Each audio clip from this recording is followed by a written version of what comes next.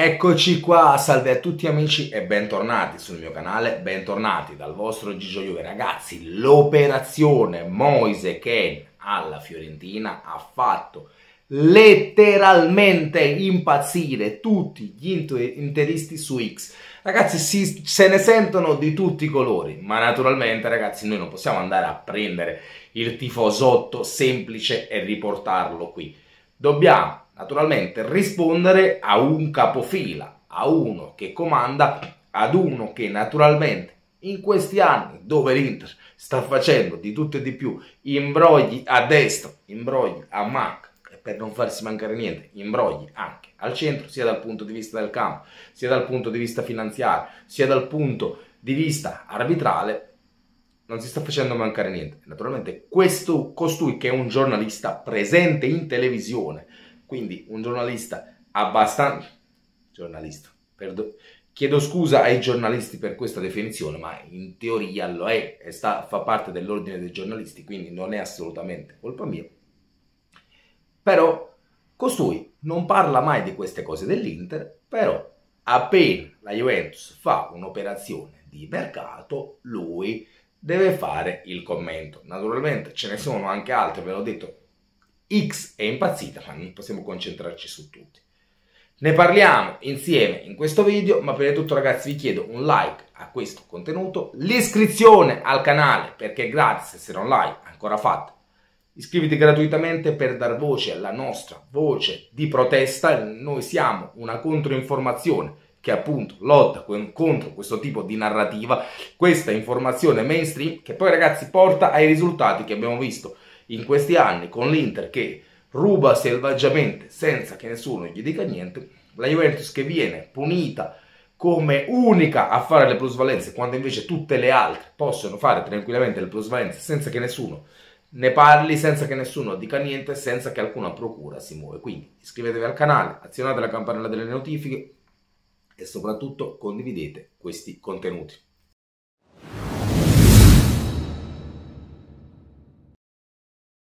Come vi dicevo ragazzi, oltre al personaggio in questione che avete già visto, non lo voglio nominare ancora perché me lo voglio tenere in caldo, avete già visto in copertina, ci sono stati altri giornalisti tipo Pasquale Guarro di calciomercato.com, molto seguito su X, che dice, rivolgendosi al suo pubblico, dice ma chi di voi comprerebbe mai Moise Kane a 13 milioni più 5 di bonus?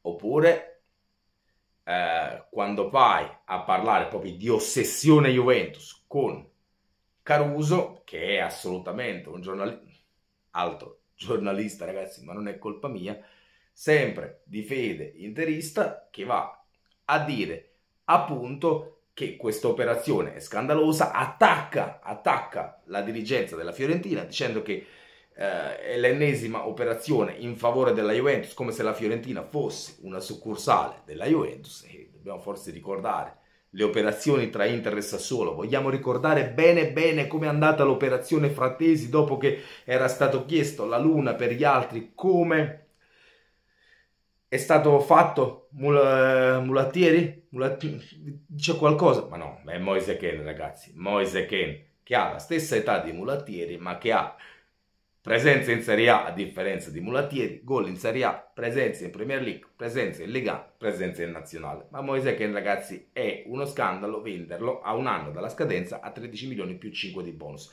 Ricordiamo che parliamo di un classe 2000. E quando vi vengono a dire eh, 19 presenze e 0 gol. Innanzitutto portiamo i dati dell'anno scorso, dove fa 6 gol in campionato. Quindi non è così scarso. Quest'anno 3 o 4 gol li aveva fatti. Se poi per alcune ragioni, per alcune ragioni, questi gol gli vengono annullati per un millimetro di fuorigioco, perché il nostro amico, il grandissimo, il grandissimo capitano del Verona, a cui ragazzi bisogna essere comunque, comunque grati per quel gol che fece quella volta a Napoli che ci ha regalato la Champions League, però in questa occasione che state vedendo in questo momento eh, assolutamente fece una simulazione che fece annullare il gol. Un altro gli è stato annullato nella giornata prima quindi. Poi ha subito un infortunio alla tibia. Ok non è un gran goleador ma stiamo parlando di un giocatore di 24 anni con delle potenzialità immense che sono già 8 anni che gioca tra i professionisti. Quindi forse 13 milioni più 5 di bonus, di cui 2 facilmente raggiungibili e 3 con obiettivi di squadra, non mi sembra un prezzo esagerato. Se tengo presente che il giovanissimo Pinamonti, proveniente dal Frosinone, con 4-5 gol in un Frosinone retrocesso, viene venduto a 20 milioni al Genoa, plusvalenza assolutamente fittizia perché l'anno dopo il Genoa lo rivende all'Inter a 20 milioni, poi viene venduto a titolo definitivo 20 milioni al Sassuolo. Sassuolo che come tutti sappiamo è una succursale dell'Inter. Ma veniamo ragazzi al personaggio clou di questo video. Il personaggio naturalmente è uno che addirittura è in televisione, dobbiamo ringraziare di questo Criscitiello e Pedulà che hanno investito sul Tancretino dando la possibilità a costui di esprimersi addirittura in televisione. E costui dice la Juventus ha vinto una lotteria da 13 milioni di euro chiamata Ken alla Fiorentina. Naturalmente su Casadei, zero presenze, zero gol in Serie A, venduto al Chelsea per 20 milioni, esattamente la cifra che tra prestito ed ingaggio eh, permetteva all'Inter di prendere Lukaku. Strano, vero?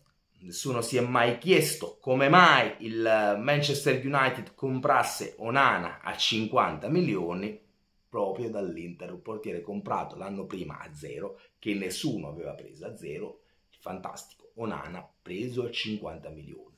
Chissà, chissà come mai. Forse perché ancora non era stato pagato l'amico Lukaku al Manchester United e quindi onde evitare di, prend- di perdere i soldi, conoscendo i soggetti, conoscendo l'insolvenza dei soggetti, hanno preferito comprare un giocatore, dice al massimo ci ritroviamo un buon portiere o come nel caso, come è successo poi nella realtà, ci, ci ritroviamo un bidone che rivendiamo a 20. Non abbiamo perso del tutto i soldi. Ecco. Però su queste cose, naturalmente, il grandissimo Tancredi Palmeri non si esprime. Lui è uno distaccato, ragazzi, che parla di calcio in modo, eh, come dire, equidistante, senza essere offuscato dal tifo.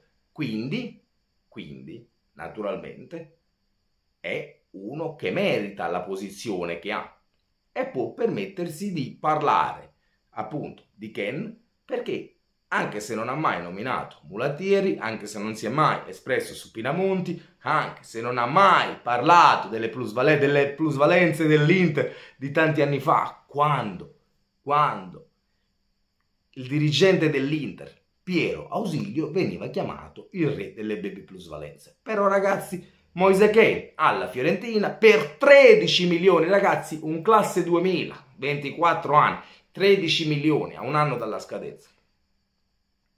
Quello va bene, quello va bene. Mentre quando succede eh, all'Inter che voleva vendere al Paris Saint Germain, ragazzi, attenzione, perché poi le cose vanno ricordate. Due anni fa l'Inter voleva vendere al Paris Saint Germain Skriniar per 60 milioni. Paris Saint Germain a un anno dalla scadenza arriva ad offrirtene 50, Marotta rifiuta perché ne voleva 60. Poi l'ha preso nel culo perché ci è andato lì a zero e io godo come un riccio, però nei fatti, nei fatti l'Inter voleva così. Però invece, Moise Ken, 24 anni, lo ribadisco, quasi 20 gol nel Paris Saint Germain, presenza all'Everton, presenza in nazionale, per una stagione sfortunata, con un allenatore di merda, perché è stato allenato da un allenatore di merda che fa un gioco difensivo, aveva dei giocatori più forti davanti e non ha giocato molto, non vale 13 milioni di euro. Questa è la narrazione, ragazzi, che viene fatta in Italia, perché invece Invece la riserva di Daniel Maldini, classe 2005, uno che in Serie A fa le presenze che fa, ma segna solo due gol, uno che è fortissimo per, per un'esultanza nell'amichevole col Guatemala prima della Coppa America, poi non fa niente che in Coppa America sta facendo zero presenze. Non fa niente, non fa niente che probabilmente è, è, un piacere a quell'altro imbroglione di Zanetti aver convocato lui e non uno come Solé che è 10.000 volte più forte di eh, Valentin Carboni, però Valentin Carboni per la narrazione della Gazzetta lo vuole mezza Europa e sarebbe un affare comprarlo a 35-40 milioni. Cioè, Gli anni passeranno, ragazzi, e ci daranno anche la risposta su Valentin Carboni, così come ce la diedero su Casadei che due anni fa, secondo gli interisti, era un fenomeno epocale. Parliamo di un 2003 che non ha mai giocato nel Chelsea e voi sapete che in Inghilterra fanno giocare i giovani, a differenza di qua. Ma, sto, ma, questo qua era scarso. L'anno scorso dissi che Mulattieri era una sega perché uno che in classe 2000 che a 23 anni ancora non ha una presenza in Serie A, non ha una pre... nessuno lo conosce, neanche la madre lo conosceva, non ha un gol in Serie A e tanto è vero, nel Sassuolo retrocesso che, tra le altre cose, Sassuolo che vince due partite con l'Inter, ma le perde poi tutte in campionato, una casualità nell'anno dello scambio Mulattieri-Frattesi. E questo è sempre un caso per la giustizia sportiva, però ragazzi, quelle erano operazioni giuste. Fatemi sapere cosa ne pensate nei commenti, massima condivisione di questo video perché gli sta rodendo il culo e quindi dobbiamo condividere perché la Juve ragazzi sta tornando, perché la Juve tornerà a fargli il culo nonostante gli arbitraggi, perché come si sta mettendo il mercato quest'anno potrebbero anche perdere nonostante gli imbrogli ragazzi, potrebbero anche perdere, non... potrebbero non bastargli gli imbrogli che hanno fatto l'anno scorso, quindi condividete il video, io vi ringrazio. Se siete stati qui con me regalandovi qualche minuto del vostro sabato e fino alla fine, contro tutte e tutti, sempre e comunque. Forza Juventus! E nel dubbio, per cominciare bene il sabato mattina, Inter merda, che non guasta davvero mai.